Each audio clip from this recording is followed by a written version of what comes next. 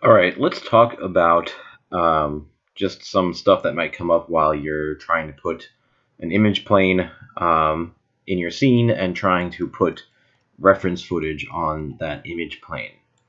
So yeah, if you have a camera and you haven't added your image plane yet, um, you want to go to Attribute Editor,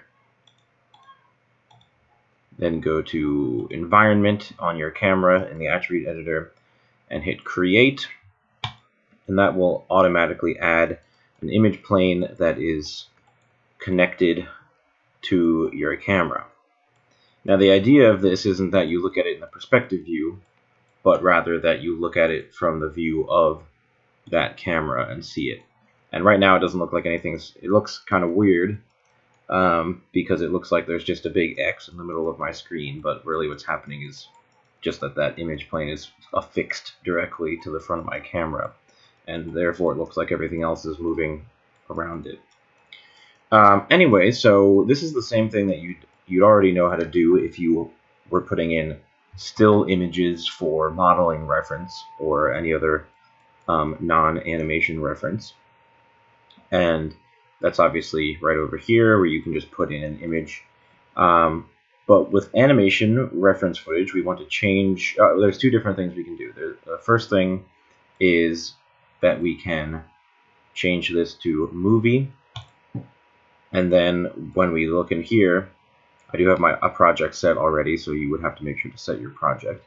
Um, and honestly, I'm not 100% sure. I would have to look it up on the um, help documentation for Autodesk, but um, it doesn't consider everything a movie file, even if it is. Now I know that I do have some in here, so I'm going to change this to all files. And Now I can see that there's some MP4 files in there. So if I open this up, it will work fine for me on my computer. Um, and I'll be able to watch my reference footage. Uh, and the other thing is that I will be able to, if I go back to my perspective camera, I'll be able to see that footage following my camera around. So I might switch to a two pane side by side layout here and uh, have one of them be the in-camera view.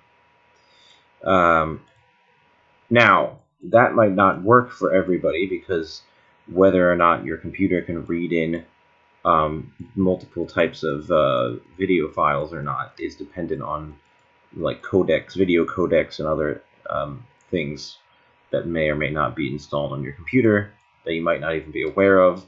So it could turn out that your um, MP4 or even in some cases an MOV or whatever will not load in properly.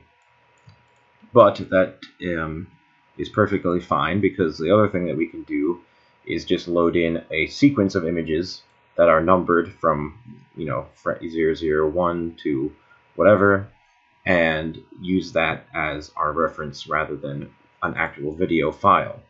Now how do you make that? Well you have to convert your video into a image sequence. So before I even do that I'm going to get rid of this just by blanking out the name and hitting enter and now that's gone. I'm also going to go back to frame 1 and then just change this back to image and uncheck that and kind of just reset my little window here. Um, but we, only, we will need to turn, turn the use image sequence back on um, once we do the next part. So what I'm going to do is I'm going to go into Adobe Media Encoder, which you don't have to use Adobe Media Encoder if you'd like to use something else, but um, you know there's multiple ways of getting uh, of using uh, a software to um, convert videos from one format to the other. I'm just using this because I like it and I use it for work stuff. Um, so I'm just going to drag my footage, whatever that happens to be, directly into the queue. And the first thing I'm going to do is check the format over here. And I'm going to change this to either PNG perhaps or JPEG. Um, but I'll just change this to PNG. It's a pretty light file type. And I don't need to have alpha, so that's fine. Uh, and really, I just need to decide where to save it. Now I don't want to save it directly in here because um, that there will be upwards of like 500 images in here, and this is where my textures and stuff have to go as well. So I am going to create a new folder inside my source images. Um, reference image sequences. And in there I could even make a subfolder and call this like shot 01 reference sequence or something like that. Always pays to be organized.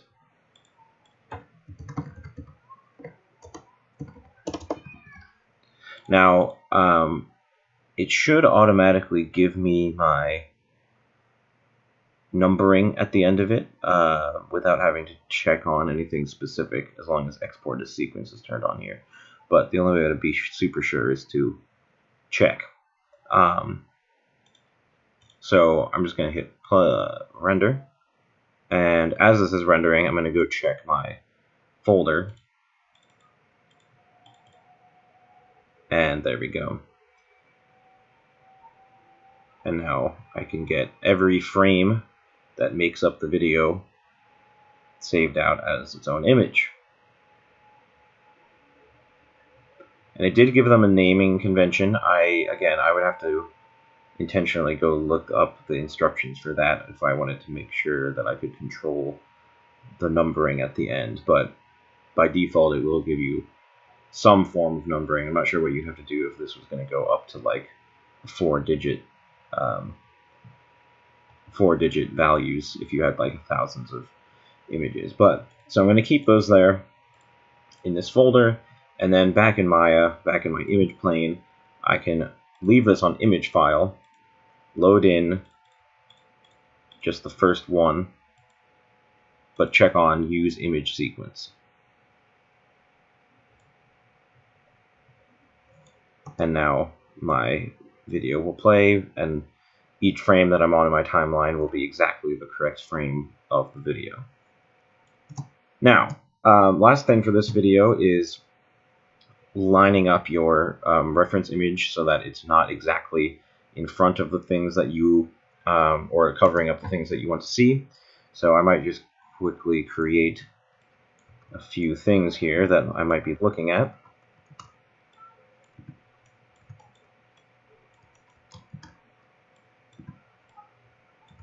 And by default, um, you know, your image your image plane is a certain distance away from the camera.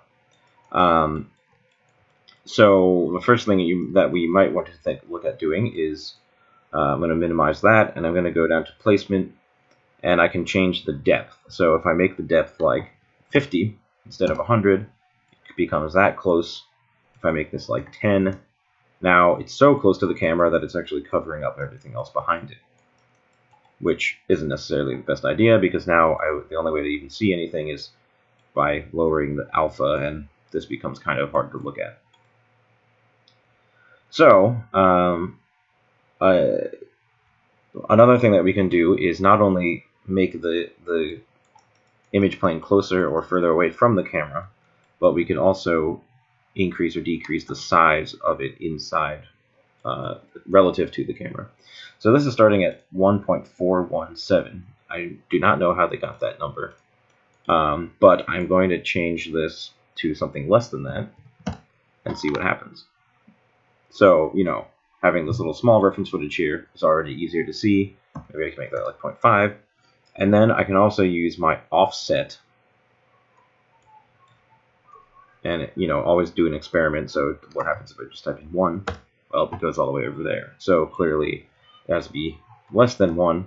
And I also want it to be negative in this case.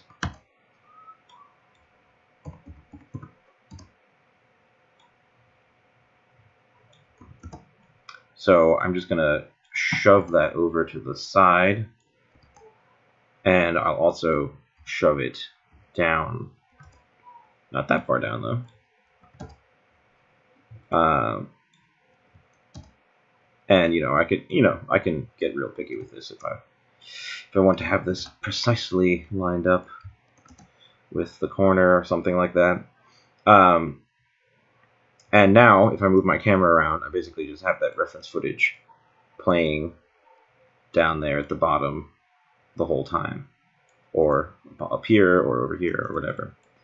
Um, and then what that would mean is that I could save out a play blast. I'm not going to save it, but I could save out a play blast, and the reference footage would be in my play blast. I did. I would want to turn off my resolution gate. I always forget to do that the first time. Um, but that way you can show people your play blast, and if they want to see your reference, uh, like if you're in my class, then I would like to see that, um, at least for the first few uh, edits. Um, and that's how you can have your reference footage placed right in your scene. Uh, one last thing is just that if you need to adjust what frame this is starting on, you can just change the frame offset here.